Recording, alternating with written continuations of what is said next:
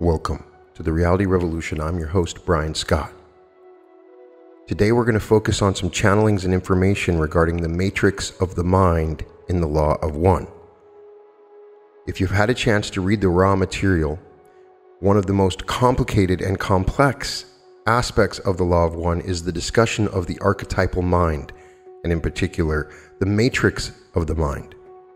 There's a few times that they have talked to Q'uo about that, and Q'uo has further elaborated on the matrix of the mind. I'm going to read some portions of the Law of One material to give you a better background so you can understand what they're talking about. But this comes from the archetypal mind, and it's discussed in section 91 of the Law of One. There's 22 archetypes of the archetypical mind, and an understanding of these archetypes is a part of consciousness and is beneficial in the spiritual journey. And a portion of this discussion of the archetypical mind is the matrix of the mind. Now, I promise you probably come away from this still questioning what it is. But we begin with session 78 of the Law of One material. Now, if you have never heard of the Law of One or Q'uo, you can check out my previous videos. I always try to give a brief explanation. This is a group of higher density beings channeled by LL Research answering questions about a subject called the Law of One, based upon the Ra material, a set of channelings given in the early 80s by LL Research. In session 78 of the Law of One material, the questioner asks Could you elaborate on the nature and quality of the matrix and the potentiator? Ra explains I am Ra. In the mind complex, the matrix may be described as consciousness. It has been called the magician. It is to be noted that of itself, consciousness is unmoved. Question It has just seemed to me that since the planets were an outgrowth of the Logos, and since the archetypical mind was the foundation of the experience, that the planets of this Logos would be somewhat related. We will certainly follow your suggestion. I've been trying to get a foothold into an undistorted perception, you might say, of the archetypical mind. It seems to me that everything that I have read having to do with archetypes have been, to some degree or another, distorted by the writers and by the fact that our language is not really capable of description. You have spoken of the magician as a basic archetype, and that this seems to have been carried through the previous octave. Would this be in order? If there is an order, the first archetypical concept for this logos, the concept that we call the magician. Ra says, I am Ra. We would first respond to your confusion as regards the various writings upon the archetypical mind. You may well consider the very informative difference between a thing in itself and its relationships or functions. There is much study of archetype, which is actually the study of functions, relationships, and correspondences. The study of planets, for instance, is an example of archetype seen as function. However, the archetypes are, first and most profoundly, things in themselves and the pondering of them and their purest relationships with each other should be the most useful foundation for the study of the archetypical mind. We now address your query as to the archetype which is the matrix of the mind. As to its name, the name of the magician is understandable when you consider that consciousness is the great foundation mystery and revelation which makes the particular density possible. The self conscious entity is full of the magic of that which is to come it may be considered first, for the mind is the first of the complexes to be developed by the student of spiritual evolution. Question In archetype 1, represented by tarot card number 1, the matrix of the mind seems to have four basic parts to the complex. Looking at the card, we have first and most obvious the magician, and what seems to be an approaching star. A stork or similar bird seems to be in a cage. On top of the cage seems to be something that seems to be very difficult to discern. Am I in any way incorrect in this analysis? I am Ra. You are competent at viewing pictures. You have not yet grasped the nature of the matrix of the mind as fully as is reliably possible upon contemplation. We would note that the representation drawn by priests were somewhat distorted by acquaintance with and dependence upon the astrologically based teachings of the Chaldees. Now, I highly suggest going to the Law of One and reading all of the different interpretations of the tarot and the matrices that are described therein. Q'uo does a good job of simplifying some of these subjects, so we begin on a channeling delivered on March 29, 2001. The question is What is the nature of the matrix of the mind? And how is it related to the potentiator of the mind? How might we apply this information to our daily lives? Carla channeling. We are of the principle known to you as the Q'uo. We greet you with the joy, in the love, and in the light of the one infinite Creator. We are most happy to have this opportunity to speak with this unique group, and we thank the instrument and the group for its dedication in making the sacrifices needed to come together at this point. We greatly appreciate that thirst for truth, that hunger for words of beauty and sustenance that create the energy of this working and that draw us to you. We will be glad to share some of our thoughts on the archetypes of the matrix and the potentiator, as always, requesting that each listen with very discriminating ears, taking those thoughts which may have value and leaving the rest behind, for we would not wish our thoughts to be a stumbling block before any. When the infinite creator wished to know itself, its great heart beat out the next creation with all of its densities and subdensities and all of the patterns of those densities and creations. Time and space were invoked, and that which before was immeasurable and unknowable became a series of illusions that, paradoxically, were to some degree knowable, and that these shadows of knowing were much desired by the Creator. And each of these sparks and shadows became agents of the one infinite Creator, thoughts in and of themselves, thoughts rounded and centered in the one great original thought, which is love. And so each of you is a logos. Step down and step down until you are able to experience the very illusion you now experience.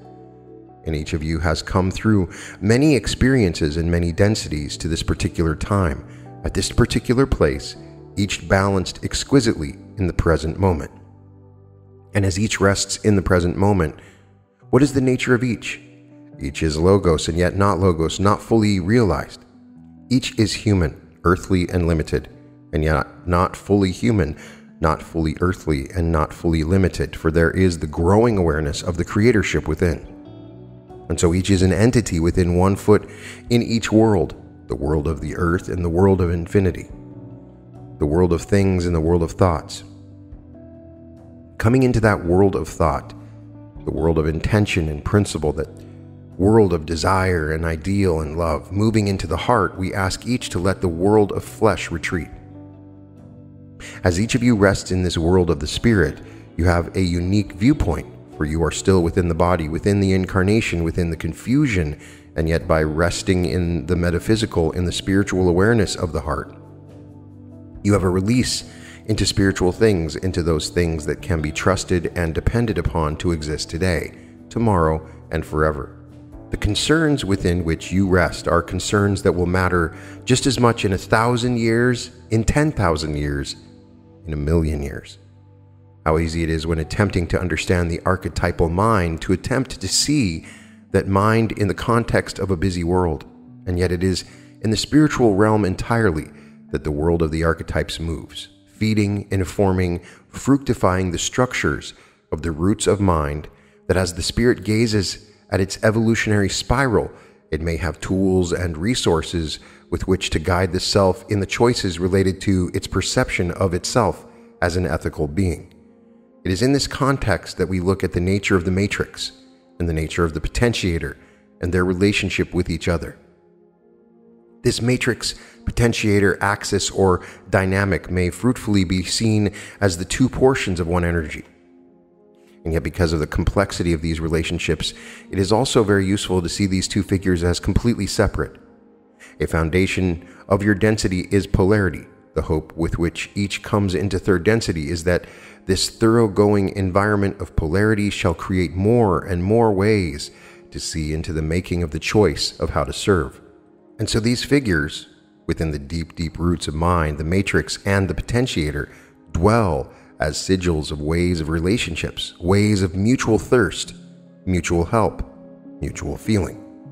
Matrix is a word that seems not even to indicate a living being, but rather a structure, a container, a grid, qualities and aspects of self. The basic figure of Matrix is figured forth as royal. And this is not by mistake, for as a spiritual being, each seeker is indeed the highest royalty, is indeed prince and king and creator. This figure of Matrix has tremendous potential, for it is empty and waiting. The hunger for evolution is stitched and knitted into every fiber of the carefully articulated web of being that the Matrix experiences as its nature. Possessed of crown and power and royalty, it is a figure with no lack of self respect, with no concern for being unworthy, with no unhealed issues. And coming to the mind of the Matrix as a human is the work of some time. For much of human sorrow, shame, guilt, low self esteem, and unworthiness need to be not denied, but taken off as shoes, as garments that are upon the body of the self but are not the self. To enter the matrix, one must become naked, and it is a powerful thing to accept the self as one is, powerful enough indeed that it is difficult to do. And this is the first gate that we would suggest that each unlock to come into the unfed mind of the deep self. You do not, when you put off the clothing of self opinion, put off the essence of self. You are not able to, by any trick of mind, by any cleverness of intellect, to remove from the self the essence of the self, for you are yourself. You cannot escape that energy field that you are. The vibratory nexus that you are echoes from lifetime to lifetime, from density to density, throughout the creation of the Father. You are who you are. And your signature is beautiful. Seldom can the entity within incarnation have a direct experience of the reality of that essence. And so we say to you, it is something that you may take on trust. You may become naked of your self perceptions, and you shall still exist.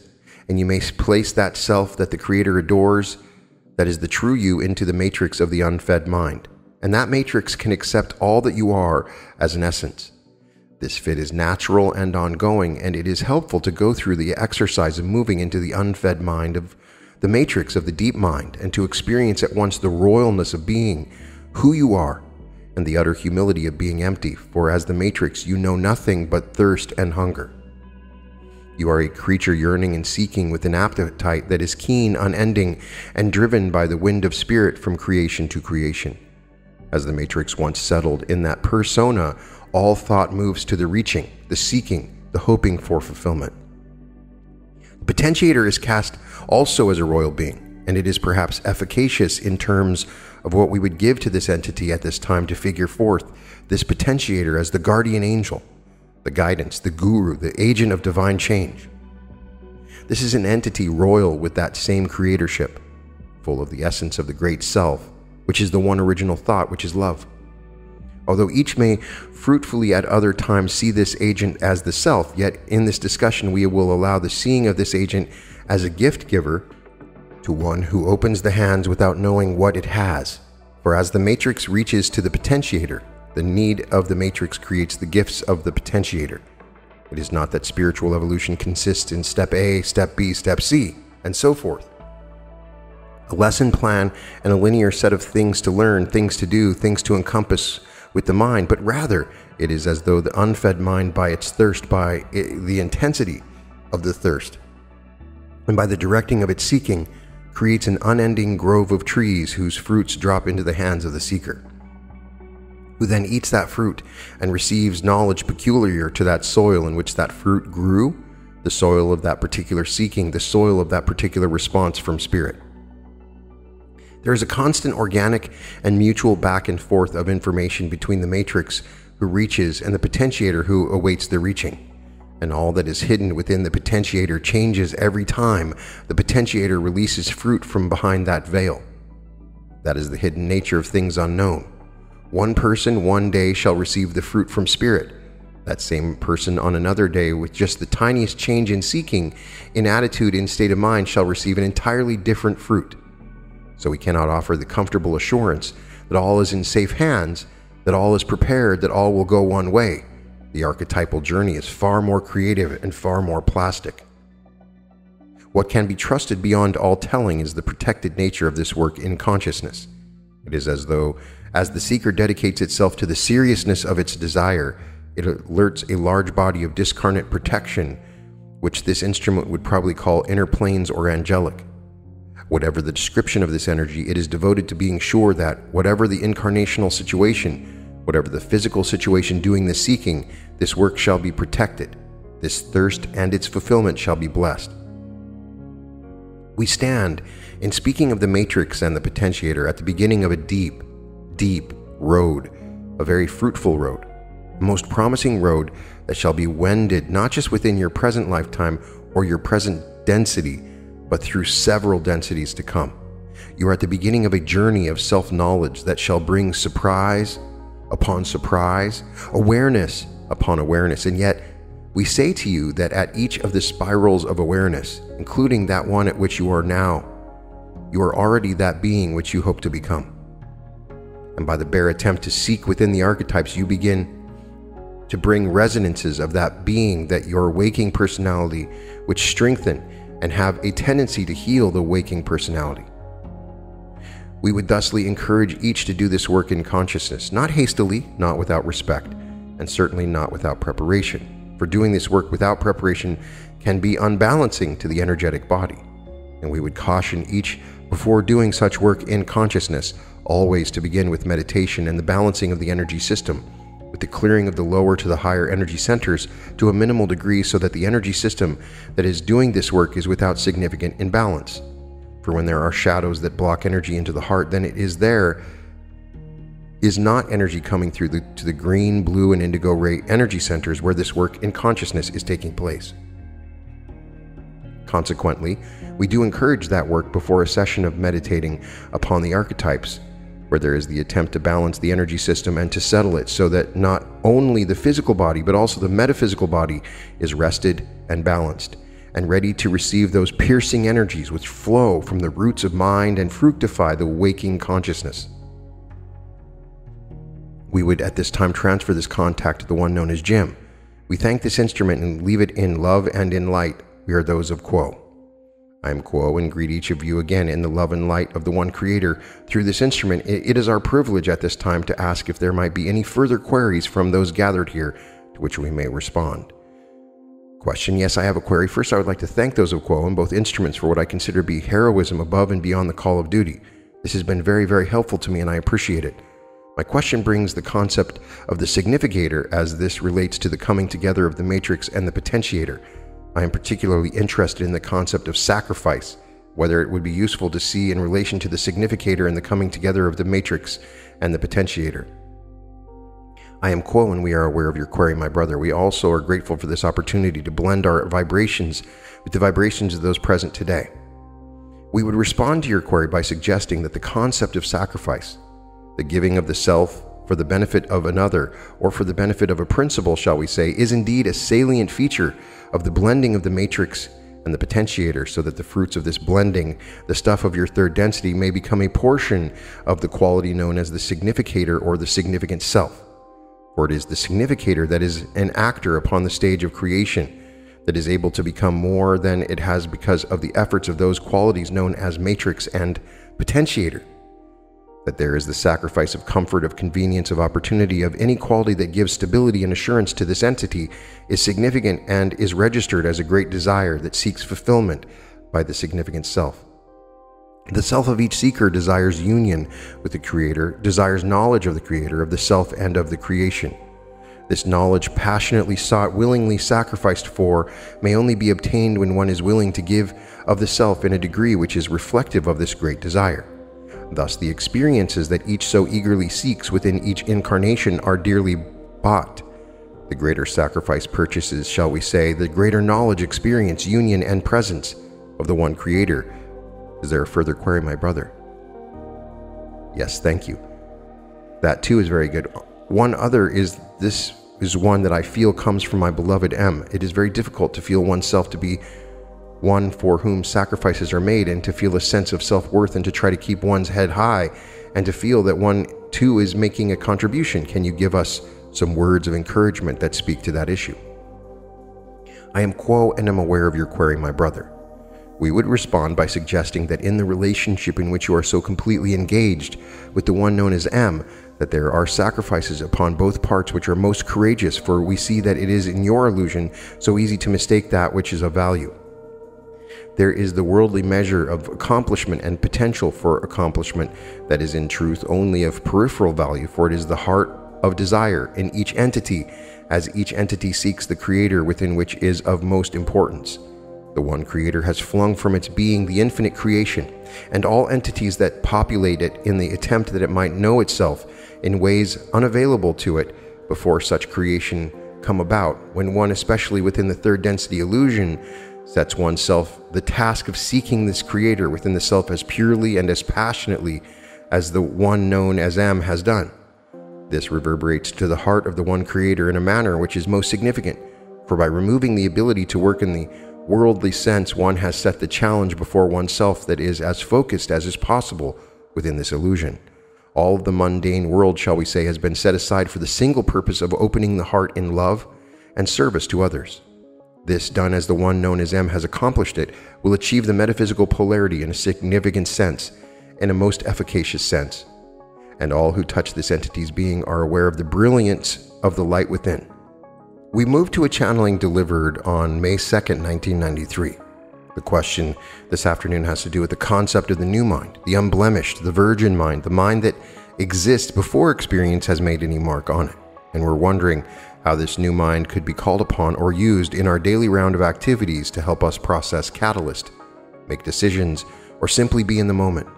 What is the value of the new mind to each of us as we live in our third density lives? I am, Q'uo, greetings in the love and light of the one infinite creator. How radiant all of you seem this day, and we are very glad we are to be called upon this circle of seeking.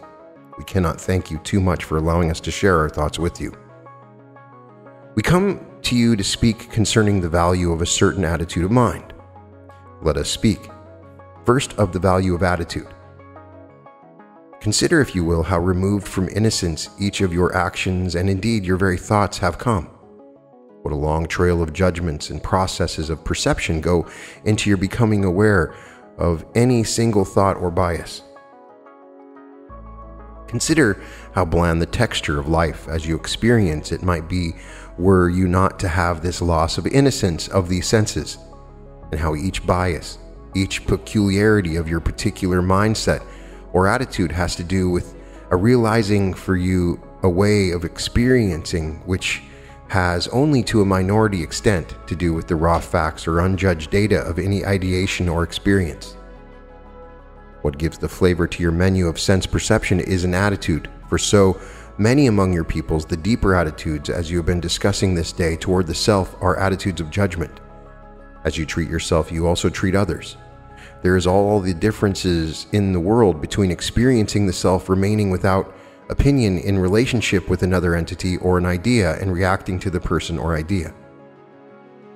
The attitude then is that which moves seemingly from the virgin or untried mind toward a characteristic signature of a certain matrix or cluster of build opinion, which functions as a basic attitude towards life typical of spiritual principles. It is a paradox. The value of new mind is that it is untested Yet to approach living the incarnational experience with this mindset is to choose and intend to carry out living with an attitude. That which you seize upon as spiritual resource is at the same time your entry into polarity. The archetype of new mind is that which is as the struts and concrete and steel members of a structure, or like the skeleton of a structure, the archetype of new mind or the matrix of the mind is a solid structural member which is part of that structure, which holds the potential for experiential process. Or to put it another way, it is a diagram in ideas rather than lines of drawing of the processes of perception. The new mind is all about where perception begins and all about where perception ends, because new mind is that which begins each onset of experience. Stop here and pay attention to your environment for a moment. We shall pause. We are those of Q'uo.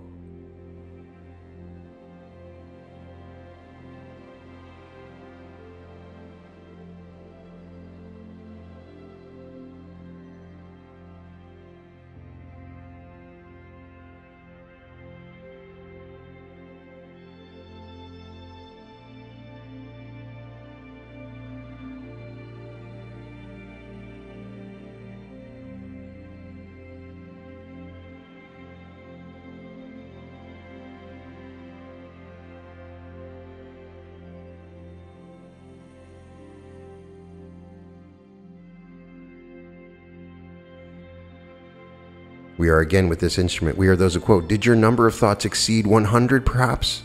The possibilities, however, for noticing were almost endless.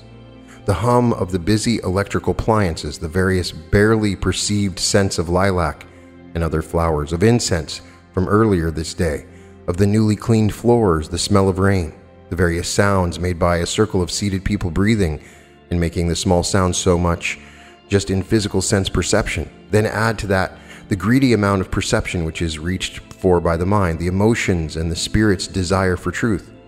All of these things in one present moment, and it is already gone, and there is another fullness to contemplate.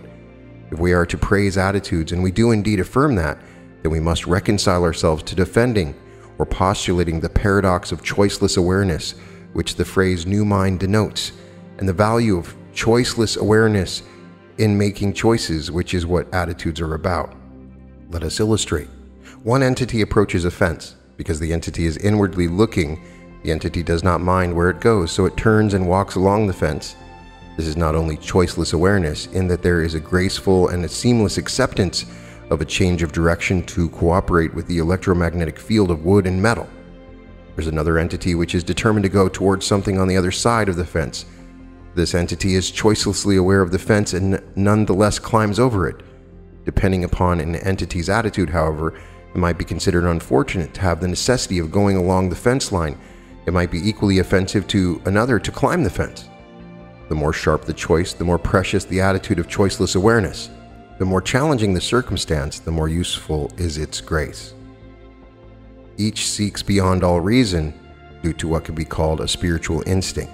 The instinct for a spiritual truth that endures is so strong that no system of distraction has kept each here present from attending to its demands.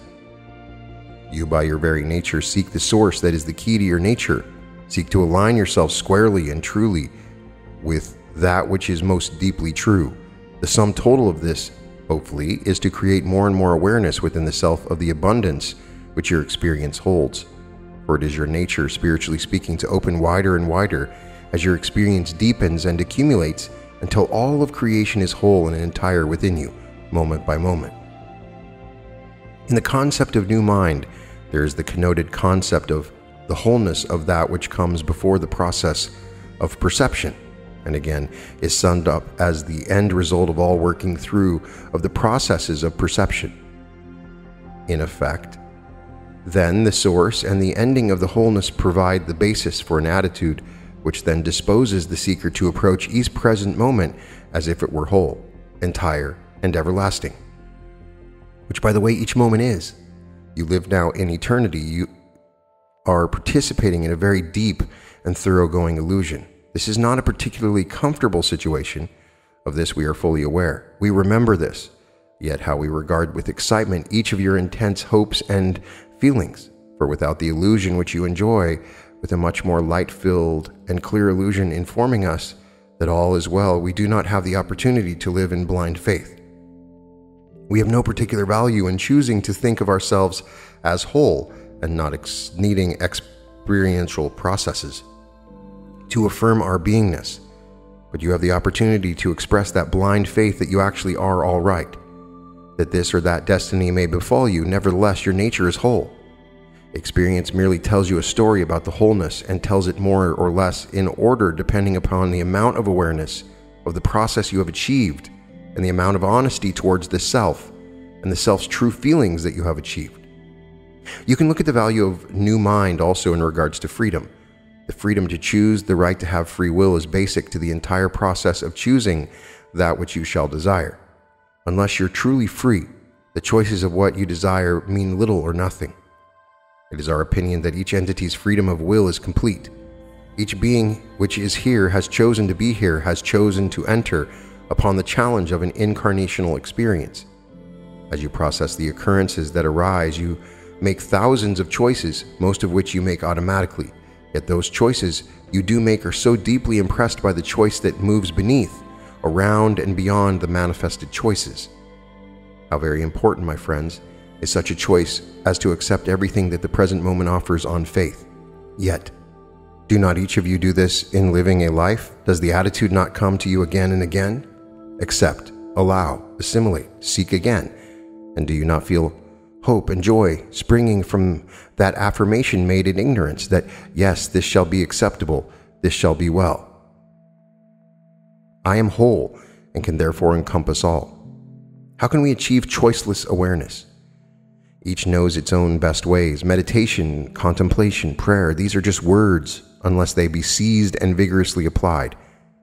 At any level, you may see the whole or untouched cheek by jowl with the first most amazing wilderness of conflicting opinion and conjecture. You may choose that line of thinking then which suits you, but who chooses? Allow that thought to dissolve the intellect. Who chooses? If you choose, you are not choiceless. Yet the one who chooses, chooses most skillfully, most humanly, most full of polarity. When the choice is made with the new mind of entirety and wholeness, the one known as Jesus said, I am come that you might have life and have it more abundantly. There is in the Christ consciousness that choiceless acceptance of the Creator's will. There is for each entity the same potential for being true and complete within the personal line of destiny that accompanies the complete freedom of choice, another paradox. You see that when speaking of spiritual matters, it is important to speak in such a way that the intellectual mind is buffaloed into surrender in the heart within. That is a far better representation of a new mind. Become ascendant. Move now in thought deeper and deeper. Picture the mind as a tree and move down the trunk through the roots deeper and deeper until the tiniest particles of root are interacting with the soil and creating more abundant life. Down, down until you feel the thousands and thousands of years your species has existed within these hills, these rocks, these rivers, and these oceans. How many generations, how many lives here amid the grandeur of your experiential home for this tiny portion of infinite experience that is yours within the present illusion. Feel the strength of the roots of mind and the security with which the archetypical mind enters into the soil of eternity. Now picture this life as light being drawn up into the archetypical mind of your selfhood. See beyond that selfhood, which there is eternity meeting the racial mind, and deeper than that, the archetypical, and then see how it acquires familiarity within the particular as you move into the subconscious and then the conscious mind. Do you feel that connection now with eternity? Can you feel how sturdy is that root of mind we have called choiceless awareness this day? And how does it inform your being? For in one sense, you are thousands and thousands of feelings and thoughts and processes of perception. In another sense, just as true, you are one with all. You are within the Creator, the Creator is within you, and there is only unity. We've led you a merry chase this day. Perhaps you may smile when you remember the twists and turns of this speaking. We hope that the humor of choosing choiceless awareness sinks deeply into each. For truly spiritual evolution is, among other things, extremely full of humor. May each laugh and love the self, and that selfless one which makes all one. May each love each other and share in the process of learning and encouraging each other. We would now turn to the questions for this purpose, we would transfer to the one known as Jim. We thank this instrument. Jim channeling, I am Q'uo and am again with this instrument. At this time, we would ask if there may be any queries to which we may speak more briefly. Carla says, I'd like to ask if it might be said that through choiceless awareness, through choosing that choiceless awareness, we become truly creative in our third density experience, more consciously creative.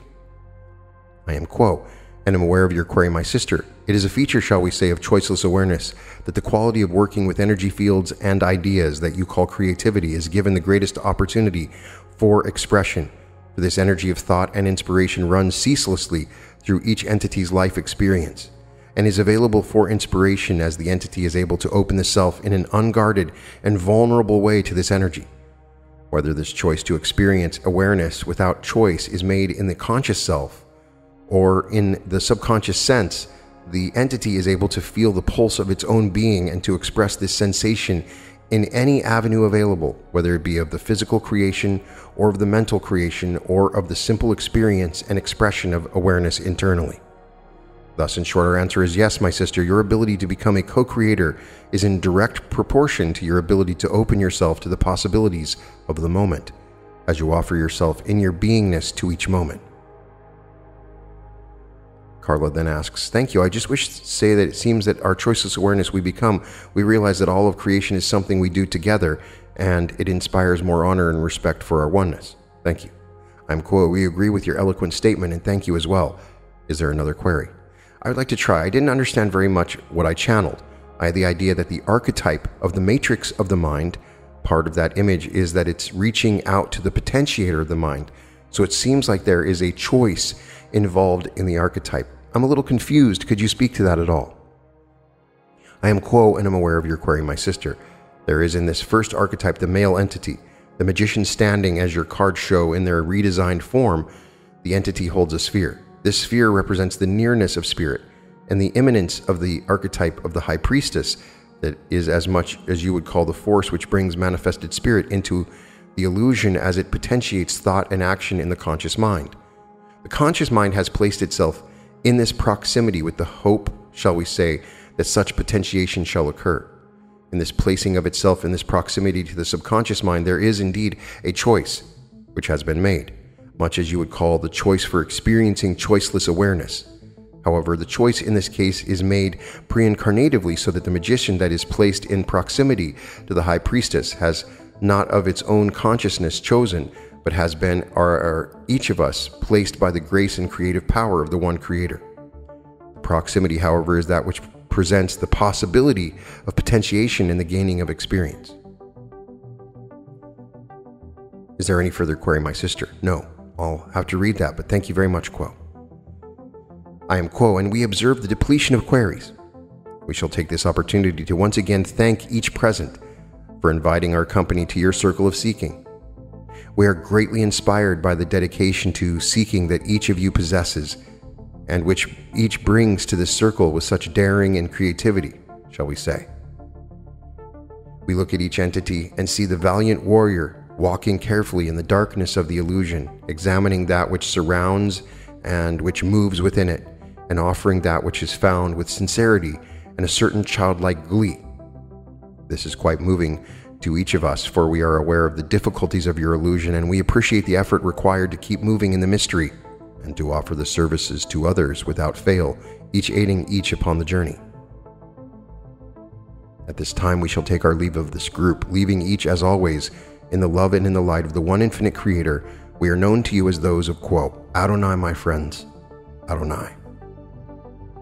So I come out of this the same way as I come out of the Law of One reading, clueless about the matrix of the mind. I even spoke to Jim McCarty briefly about this, and I still just simply don't entirely understand it. As I understand, the matrix of the mind is the raw power that occurs in the mind, and the potentiation is the ability of the mind, like the higher self. And so we are reaching from this present state in the moment in this matrix that is sort of created around a fresh mind. And there's this dynamic between who we are and what we can become that is a dynamic that plays out in the archetype of our mind. Perhaps I'm wrong. It seems to be at the core of our conscious experience the idea that we are understanding our mind and the matrix of it, and there is a potentiator, there is this activation that can occur that is also a part of our mind, and there is a dynamic between the two. I still can't explain it entirely, and so I'm asking my good friends that are knowledgeable about the law of one to help me to understand the matrix of the mind. What does it mean? How do you interpret it? Is it just the magician card in the tarot? Is there more to it? And what is this dynamic between the potentiator and the matrix of the mind? Q'uo has done a fairly good job of giving me a spiritual idea of what this means, and I feel I understand it a little better. But I call out to the social memory complex that is listening, and please put in the comments for those who don't understand. Because as they indicate, this is a very fundamental part of our spiritual journey as we move through the densities. We may not be aware of it now, but there is this dynamic between the matrix of the mind and the potentiator of the mind and I can barely even define what those things are and how they work. But there's a knowing in me that I seem to understand or know, but I don't think that I could give you the best explanation. So it is definitely a dark area for me in understanding the law of one, and I will continue to try to learn. And as I learn, I'll teach you what I learn. In any case, you can find all episodes of The Reality Revolution at therealityrevolution.com. and welcome to the Reality Revolution.